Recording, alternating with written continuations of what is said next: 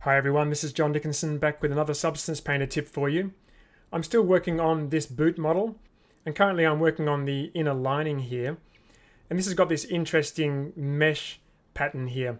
And I come up against a situation where I wanted to have two different types of bump or height detail. One on the on the inside and one on the outside. So I thought I'd record a quick walkthrough of the steps I took to set this up. Let's take a look so let's just walk through the setup that I've created. First of all, I've added a fill layer.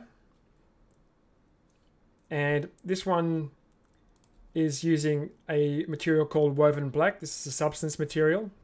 I'm pretty sure I got this from Substance Source. So this is going to be the lower or the inside material.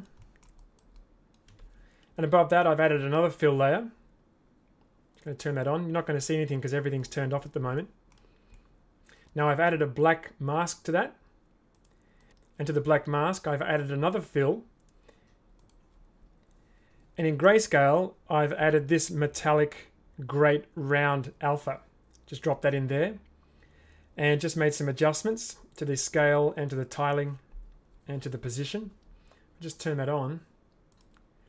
You're not going to see very much. If I just alt click on the mask, I can see that more clearly.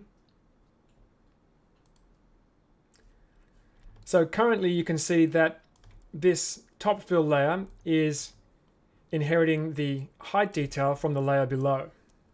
If we turn that off, you can see it no longer shows that height detail. Now I don't want this top layer to show any of the height detail from the layer below because we're going to treat these as two separate materials. So the key here is to change this layer's blend mode from linear dodge, which is its default, to normal. Now you're still not going to see any change. That's because for this actual layer, height is actually turned off. The height channel is turned off. I'm using the height information on a fill effect applied to this layer. So I've just chosen to add a fill. And you can see that that has height turned on and height is set to 1. So if I turn that on now, you can see we're not inheriting that height detail from the layer below. If I bring this back to linear dodge, there you go. That's not what we want. Take it back to normal. So that's added the height information to the mesh, which is good, and not inheriting any of that detail from below.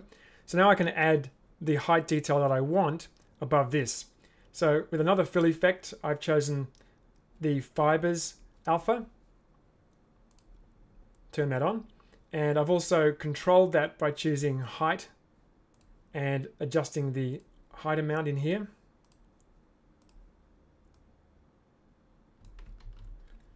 And I've added some variation to that by duplicating it and changing that to velvet. So turn that one on. And that's also controlled here just by adjusting this slider. And I could add a bunch of layers above here, as many as I wanted, to create a more organic random look.